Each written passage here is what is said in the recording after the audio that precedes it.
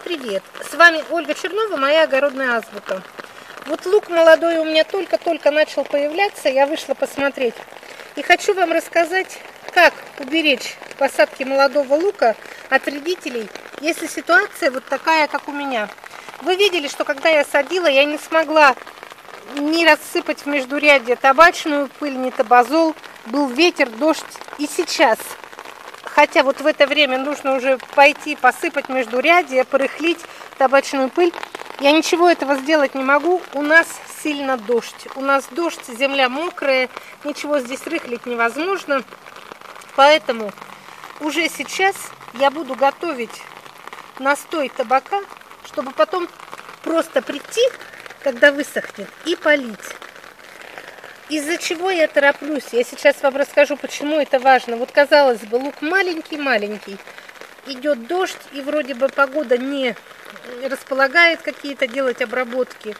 Но дело в том, что через 2, 3 или 5 дней, как только выглянет солнце, как только установится теплая погода, сразу же начнется вот этот лед луковой мухи.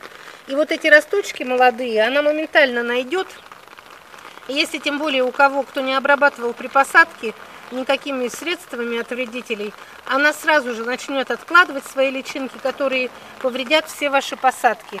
Поэтому вот пока стоит такая погода, у меня как раз приготовится настойка табака. И как только будет светло и тепло, я сразу выйду и полью свои грядки.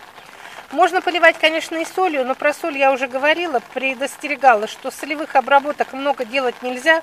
Плодородие почвы не только понижается, вы можете испортить грунт до такой степени, что там ничего расти больше не будет.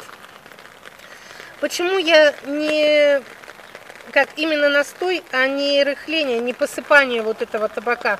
Но видите, посыпание табака в междуряде, я еще не знаю, когда можно будет сделать. Если вот так будет такой ливень, то ты и не посыпешь. А полить можно в любую погоду. И посыпание табака это не очень экономный способ. Если гряды большие, то представьте, сколько нужно посыпать табака.